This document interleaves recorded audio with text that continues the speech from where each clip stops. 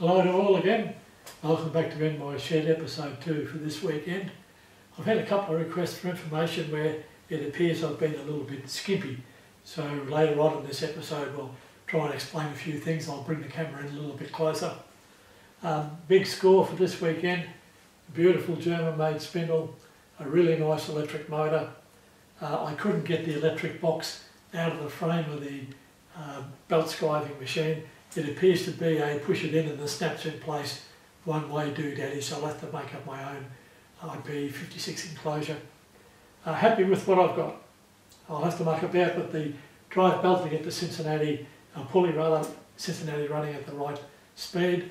I do have another pulley on a high speed attachment and it might be swap around. The pulley appears to be the same taper as the Cincinnati grinding wheel hubs, so I may have to make up some hubs in the future edition, but all in all, we'll see how we go. One big question I keep getting is how does radial relief and axial relief work? And this is an old tap grinding attachment that I bought um, many, many years ago. It's probably older than me. It's reasonably simple when you look at it, but if you don't look at it from close up, you'll miss out on the information. So I'll bring the camera in a little bit closer later on. I'll take the cam plate off, show the set mechanism, uh, I don't know whether I can get the camera set up from here, but maybe over my shoulder might be a little bit better to get you close enough. It's extremely well made. The materials they made these jigs and fixtures out of 50 or 60 years ago or more is extremely good. It's still going now, which is just testimony to how bloody well, well made it is. And I also had an inquiry on how to use a cam plate on a tool cutter grinder workhead to get extra relief. It is unbelievably simple uh, unless you haven't seen it done.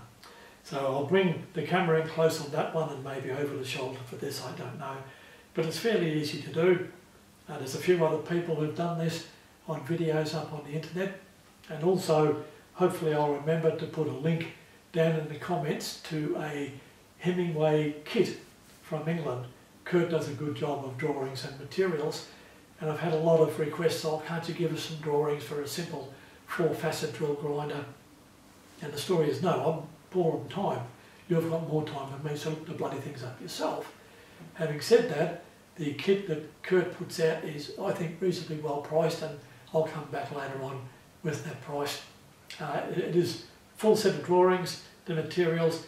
It is designed to have the drill uh, up like that, pointing down, because the table on the Worden uh, can be set to any angle. It uses the upcoming edge of the grinding wheel to grind onto the edge of the drill. It has a very good drill holding mechanism. It also has an adaptable backstop for the drill that is adjustable for length on the drill.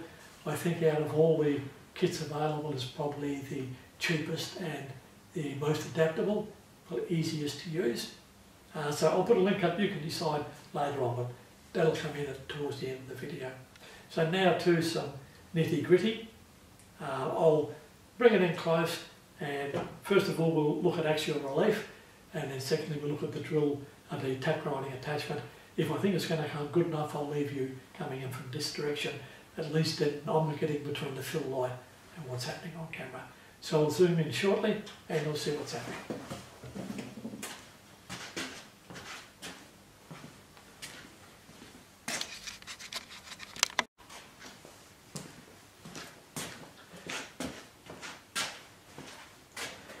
Okay, back again guys. We'll start off with the tap grinding attachment. Very, very well made, bloody ancient. Okay, has a set of V-blocks on the back here. And one says tap and one says set. So, demonstration tap, nice and greasy, everything. Undo the set screw on the top, which allows a V-jaw to slide inside the housing and there's a centre that you put the tap up against. So push this centre in. The tap is now captured between centres. And if I turn this over to where you can see it, that is the sliding V jaw. And the V part of the jaw engages with the square of the tap Then you whoop, lock up the screw that says tap. So the tap is now captured between centres and set to the head. Now to set the head to the cam,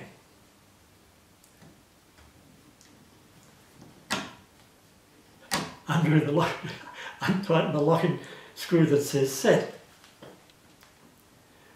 Bring the cam up towards the top of the cam and align the start and finish of the flute vertical to the table, same as all uh, axial radial relief attachments. The setting is usually the same. So now we have the tap set to the head, the head set to the cam. You then offer this up to the tool and cutter grinder with the grinding wheel coming in on the chamfer at the front of the tap. And as you turn the attachment, I'll show you some more of the mechanism up close. The whole body of the grinder tilts back from the grinding wheel to give you relief behind the cutting edge. Okay, working parts of it.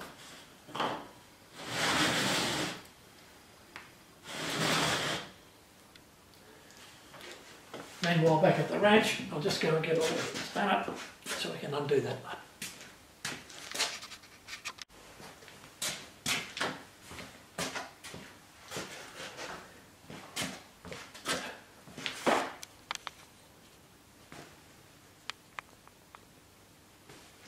And I think up just a little bit there. That's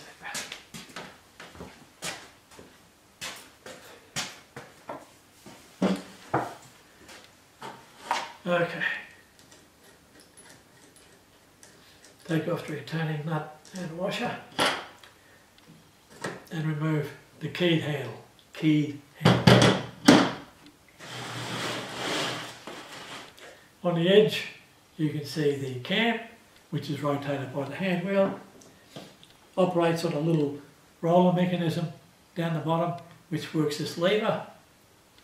This lever in turn turns this bell crank which rotates this shaft. Now the cam comes off there and is reversible for left hand taps so it's easy peasy and I have a set of cams in the box for three, four, six and eight flute taps I think.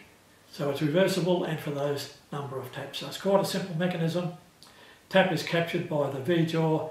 It is timed to the cam the cam has to have the right orientation, left hand or right hand, and the right number of lobes on the cam to suit the number of uh, flutes on the tap. Ah, look at that. We can turn it. So you should now be able to see the cam mechanism working on the back there, which in turn rotates this shaft. So, so far Reasonably simple piece of kit. Put the handle back on.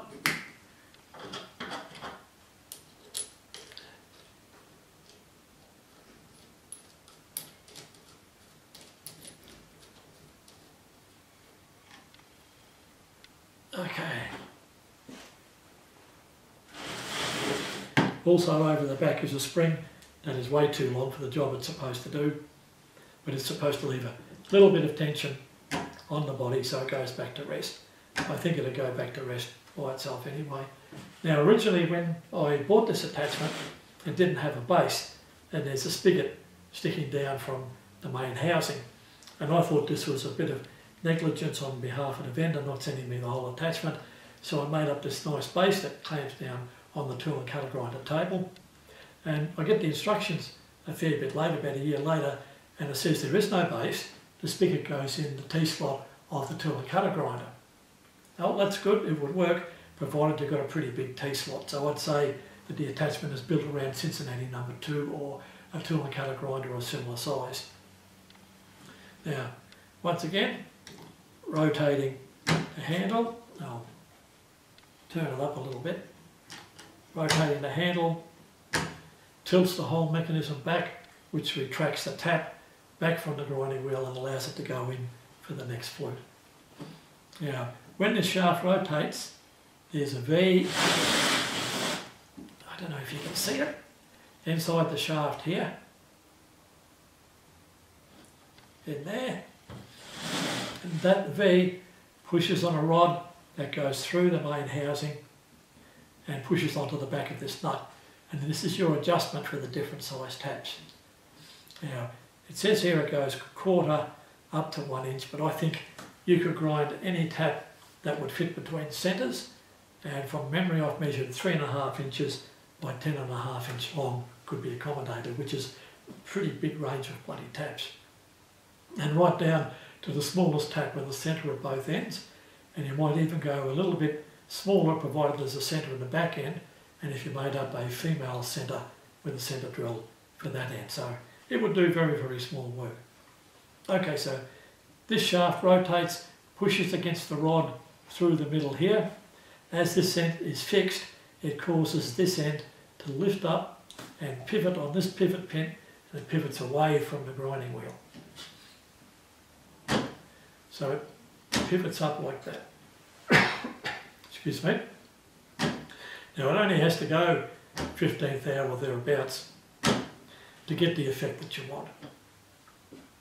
Yeah, this clamps the main body so you can slide the body backwards and forwards to give you better adjustment on where the uh, centre is. Obviously for a longer tap you'd have to pull the body through. Put the operator side around to you. This is the main adjustment for the size of the tap and as you wind it in and close it up that pushes against the push rod and there's less dead movement. All of the cam movement when it's screwed right in is used to tilt the whole mechanism back. Absolutely brilliant piece of gear. I don't know who designed it, the factory, it's not named in any way at all.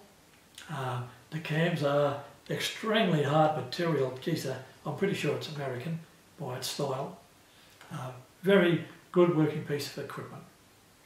So that's a radial relief grinding attachment. Um, you will be able to do something similar at home. I'm working on a design for an eccentric unit, not cam operated, but eccentric operated for grinding taps at higher speed and taking bigger cuts, but that's something that's off into my future. Okay, that's one out of the way. That's for a customer request or a viewer request. This is the Clarkson or one of the Clarkson workheads for the tool and cutter grinder. And these plates were originally slotted out to go on the base so I can use the base at angles other than dropping it into the table slot. Makes it a little bit more universal in inverted commas. Okay, standard Clarkson workhead, why it's got metric bushes in it, I don't know, one of the later model workheads I suppose. Uh, 25 millimeter, this is an ER32 collet chuck with a 25 millimeter shaft. If you're going to build a home built tool and cut grinder, I would suggest this would be the most universal item. The basic collet chuck cost me about $70 or something like that, which is very, very cheap.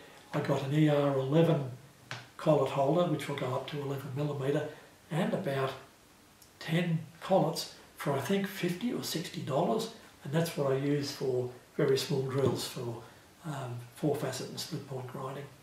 Okay, the big question that came in over the internet, and it's quite a viable question, how does the cam action work on the tool and cutter grinder? Okay, all you need for cam action or axial relief, as it's called, There's a bit of movement in the head, a cam and a cam follower. Now the cam can be adjusted for the uh, position where you want it to effectively run on the head of the screw and the rate of cam or the angle of the cam is just altered by turning the bloody cam and locking it up. Dead simple. A better design than mine would have a little bit of a spring holding it down at the front here, two washers, just a very soft spring to hold it down so that the uh, screw head actually climbs the cam. And a better design than mine, instead of having a screw head there, it would be a very small ball bearing with a socketed cap screw in the end. And as it goes up, the ball bearing would ride that cam a hell of a lot easier. What have I got here? Just to get a little bit of height. Okay, so we'll bring that up to touch you can see that the screw head touches the cam plate and as I rotate it, it forces the work head back. That's pulling the tool away from the grinding wheel. The grinding wheel is here, the tool right here, the tool is here. As you pull it away, it will grind the tool less, and you want that to happen as you're coming towards the cutting edge. That way there will be less clearance at the cutting edge.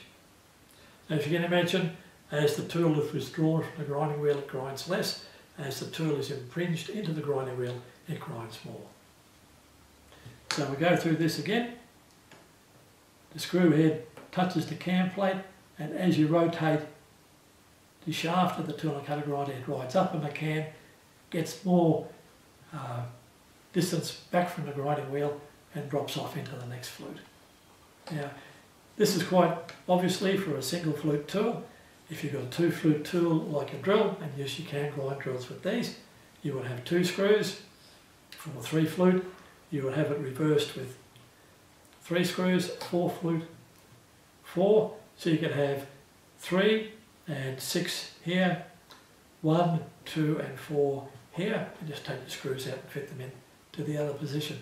Not a lot of genius involved whatsoever, uh, just following on from commercial designs the way they've done it, although their cam uh, might have a curved profile instead of pro straight profile.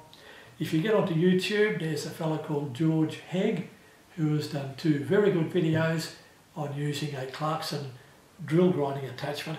And if you have a look at the attachment, not what's happening in the grinding video, you'll see that there is an angle plate for a cam on the Clarkson and it's actually marked off in degrees and you can change the angle of the plate and then lock it up with the adjusting screw.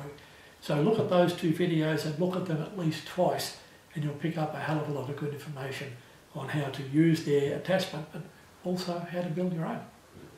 Okay, I hope there's been a little bit of information here to uh, wet your whistle and keep you interested in the channel. Sorry I've been so long in making videos, but I find Vera's company a damn sight interesting than you people. Can't imagine that. Okay, bye for now. If you haven't already, like and subscribe. And uh, these two were answering uh, viewers' questions. I can answer those that I can that I'm set up for, but I can't spend the time to do a full setup just to answer a question. And there's the magnetic indicator base I was looking for earlier. Amazing how you can lose your memory. Okay guys, see you next weekend with a bit of luck.